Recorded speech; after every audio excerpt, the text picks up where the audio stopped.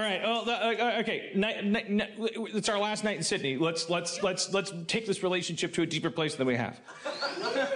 First, with sincerity, I'm not going to say, "Oh, it's nice weather." Uh, your your uh, opera house is shaped funny, like a porcupine. Uh, we're beyond that. We're now to the surface. I want to say uh, kudos to you. It seems like my girlfriend pointed out, and I was like, "Yeah, you're right. I think I did notice that too."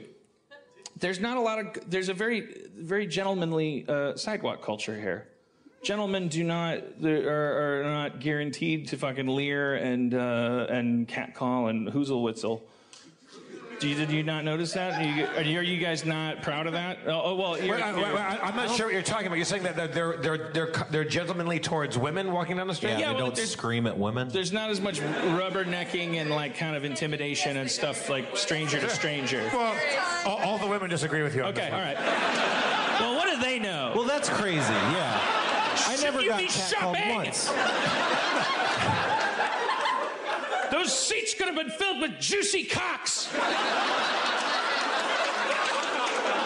This is a man's show. I want, I want juicy nuts and hard cocks in those seats. That's the Harmontown guarantee.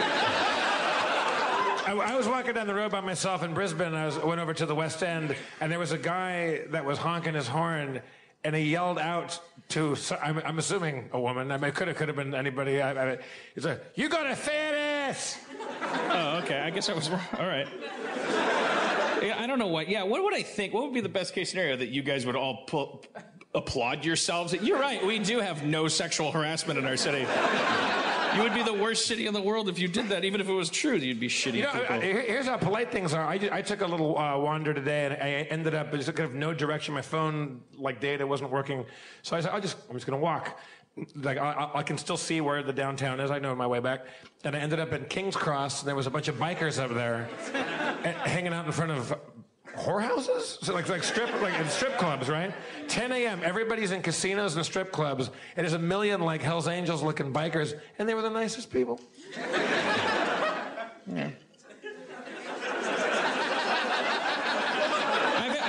I, I guess the first way I received that is I feel like you're, I feel like you're beating me at some kind of traveling contest. I, I, I, I had waffles. Yeah. I don't. I, Well, Jeff is way better at traveling than you. well, I, I, I, I never wanted to find that out. You know, it's not why I invited him. Invited me. Yeah, Right, yeah. That's right, oh, sir. That's oh, and now it all comes out.